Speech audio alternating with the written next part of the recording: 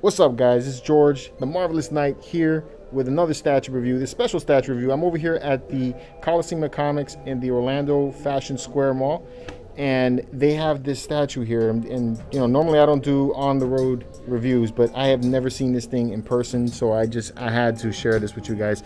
This is the Asajj Ventress life-size bust from Sideshow. They only made 250 of these, and she is gorgeous. I have never seen this thing before in my life. It comes with uh, with a cloak. We took the, the, the hoodie off so that you can see, you know, the the sculpt and all of the tattoos that it has.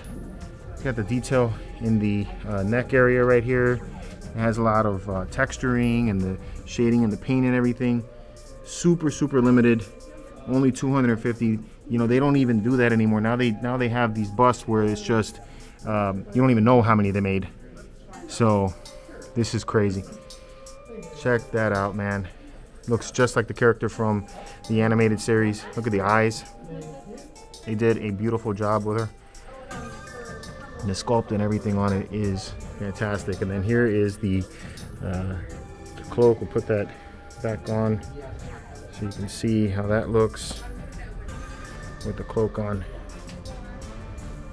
And I'm doing a horrible job putting it back on, but that's the best I can do right now. Just simply fantastic. Like I said, this is over here at Coliseum of Comics right now. If you want to come by and pick it up, please don't come by and pick it up. It's because I think I'm going to come back and I'm going to probably buy this one. Super cool to see this in person. Something I've never seen. It's like a, like a, this to me would be a grail. Just something that I've never known about and looks amazing. And it just happens to be here hidden like a diamond in the rough. Really awesome stuff.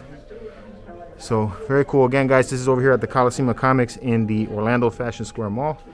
So, you know, if you guys want to come by and pick it up, it's going for about $1,500 over here. And that's about it. So thanks, guys, for joining me. As always, give me a thumbs up on the way out. Subscribe, like, do all that good stuff. And until next time, guys, keep it marvelous, and may the force be with you.